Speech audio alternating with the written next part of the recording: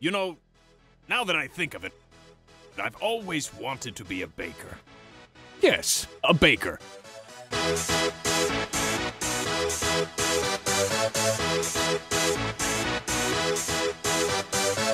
Y'all ready for this?